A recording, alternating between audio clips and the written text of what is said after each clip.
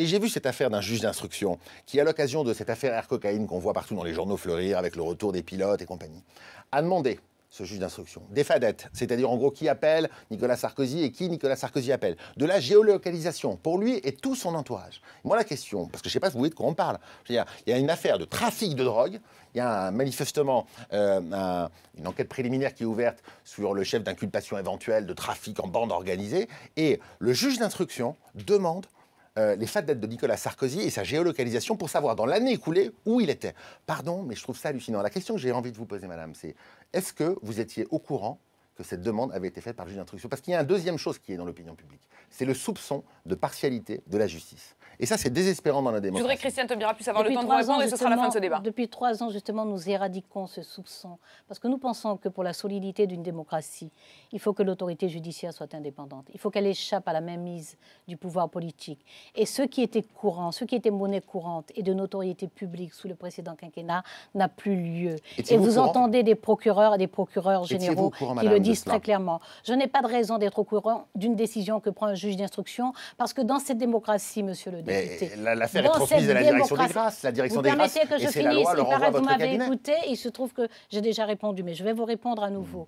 Donc je répète, dans une démocratie, et dans la nôtre en particulier, les juges d'instruction, qui en plus sont des juges du siège, sont des juges qui prennent leurs décisions de procédure le parquet général, parce que le gouvernement est responsable de la politique pénale, le parquet général doit faire remonter, conformément à la, à la circulaire que nous avons adressée le 31 janvier 2014, doit faire remonter les affaires sensibles. Sur cette affaire sensible, absolument, sur cette affaire sensible dont nous sommes informés, après que le juge d'instruction ait pris ses décisions. Et c'est ça aussi qui fait reculer le soupçon. Il prend ses décisions en toute liberté. Hein. Donc vous n'étiez pas, simplement, Christiane Taubira, vous n'étiez pas au courant. Nous sommes informés après, et après, ce que nous savons, mmh. ce que nous savons, c'est qu'il s'agit d'une autre infraction et d'une autre procédure.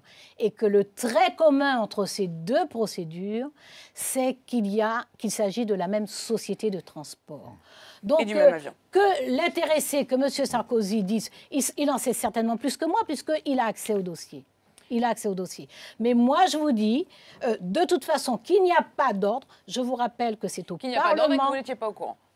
Qu'au Parlement, je pas dit, pas au courant avant d'une décision. Je dis que nous sommes informés après. Attendez. Euh, Est-ce que... la direction des affaires euh, civiles et des grâces, des affaires criminelles et des grâces, a transmis à vous-même et à votre cabinet l'information comme quoi on avait demandé, le juge d'instruction de Marseille avait demandé les fadettes et la géolocalisation de l'ancien président de la République dans cette affaire air cocaïne, de trafic de drogue. Si c'est ça, pardon, c'est hallucinant. Je vous répète, monsieur le député, non mais vous, affirmez des choses, y compris quand on vient de vous dire que c'est inexact, et vous en tirez une conclusion. Mais c'est une méthode qui est efficace, hein, je reconnais, depuis trois ans, elle est extrêmement efficace. Je vous ai répondu très précisément. Il y a un juge d'instruction qui prend ses décisions de procédure. mais ça, j'ai compris. La question, c'est est-ce que vous êtes au courant? Est-ce que vous étiez au courant? Christiane Taubira vous a répondu. Je ne peux pas être au courant. Ah, mais c'est incroyable quand même. Mais moi, je suis sûre que les téléspectateurs ont compris. Bon, génial, le juge d'instruction prend ses décisions.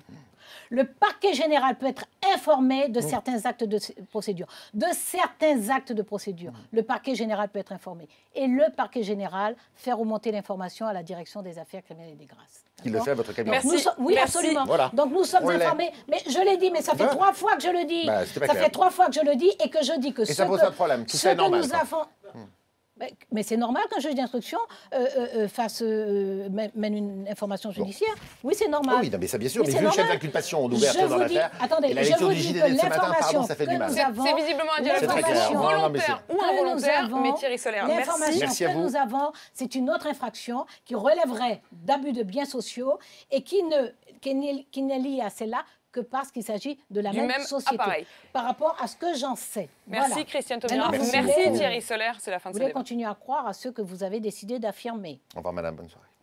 Bonsoir Monsieur le député.